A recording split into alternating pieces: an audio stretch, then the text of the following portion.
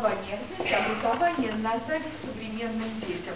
Потому что помимо иностранных языков она знала точные науки. Это не только арифметика, это высшая математика и геометрия. Только примите в расчет, что в те годы, чем занимается геометрия, знал не каждый образованный мужчина. А она задачи решала. А, кстати, здесь есть незамужние барышни? Есть девушки, учите геометрию. Это помогает удачно выйти замуж. Во всяком случае, Марии Федоровне помогло. Вы знаете, Екатерина II поспешно хотела женить своего сына вторично.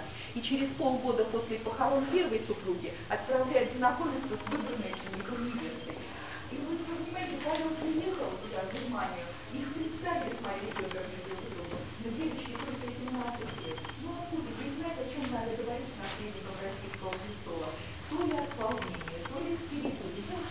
она стала рассказывать, да, о последней задаче по геометрии, которую решала. А Павел был не глупый человек. Он по достоинству оценил образование барышни и понял, надо брать. И на счастье нашему государству, согласитесь. Э, Мария Федоровна знала естественные науки. Опять это не только ботаника и зоология, это физика и астрономия. Современные девушки не любят физику, а для меня, как для преподавателя физики, это горько и обидно. А вот Мария Федоровна, заканчивая образование уже здесь, Павловске, ну и в Петербурге, когда приехала в Россию, она вот здесь слушала лекции по гидродинамике, и тетради лежат у нас в архивах. Так там вот лекции записывала по-французски, на французском же языке надпись с того французского